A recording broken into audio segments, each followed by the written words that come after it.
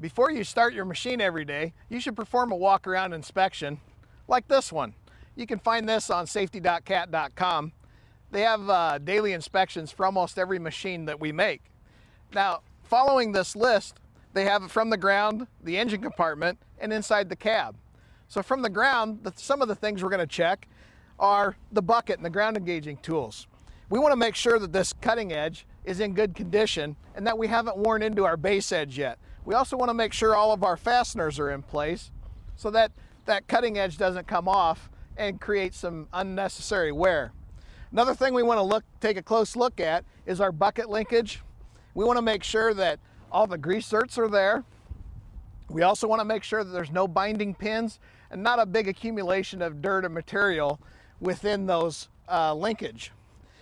Now, as we continue to walk around the machine, we're going to be looking at the tires we're going to make sure that the tires are inflated, that the wheel lugs are in place, and that we don't have too much wear on our tires that'll uh, hinder our performance of the machine. Now, we're going to look at the tread, but not only that, we also want to look at the sidewall and make sure that we don't have any unsafe conditions existing, big scrapes or cuts in our sidewall or in our tread. We're going to continue around the machine, always taking note below the machine and on the sides, looking for any leaks. We're going to check uh, all four tires. We're also going to look to make sure that our safety equipment is in place. And also these hoses, make sure there's no rubs, uh, nothing getting in the way, no big rocks stuck in here. Now let's head back to the engine compartment. But don't forget, we need to look at the rest of the machine yet. All of these boxes should be checked and any comments should be off to the side.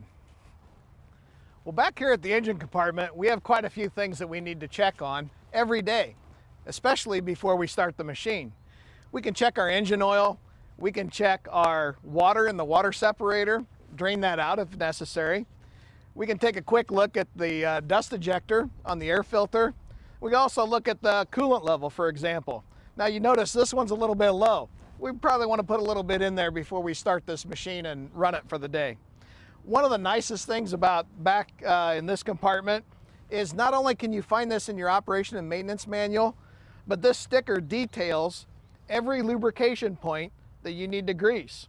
It also gives you the interval for that. Right down there it says every 10 hours we should, we should grease those points. It also gives us the location of where the filters are and how to service those filters, referring back to the operation and maintenance manual.